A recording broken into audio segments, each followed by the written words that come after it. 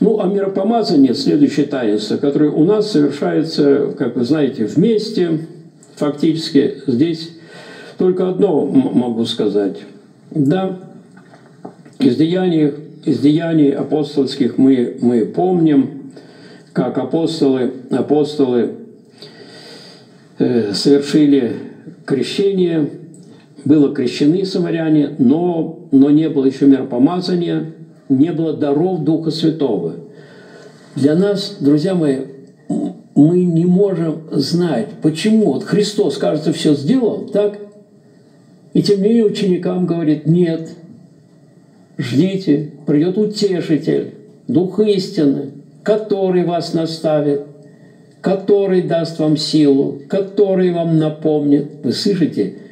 Функции, вот разные функции. Как, что, почему, об этом бессмысленно даже думать. Но факт таков. И вот таинство миропомазания, как раз оно и сопряжено с чем? Вот с тем, что этому семени дается, дается при, опять-таки, вере.